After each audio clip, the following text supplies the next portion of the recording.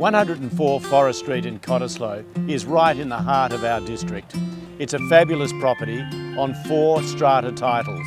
The whole block size is 506 square metres with a two-street frontage between Forrest Street and Vera Street to the north.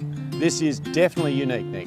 It certainly is, Chris. Here we have four two-storey offices, each with their own mezzanine level. And we're standing here in the communal area in the middle, which is a great space for a reception. It's a property that is zoned for both residential and office use, with a myriad of opportunities here to expand the existing footprint or to do anything you desire.